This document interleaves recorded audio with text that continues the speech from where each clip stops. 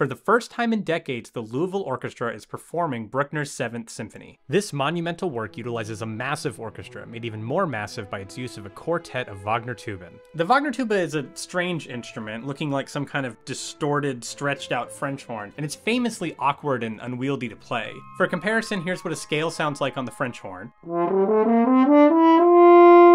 And here's that same scale on the Wagner tuba.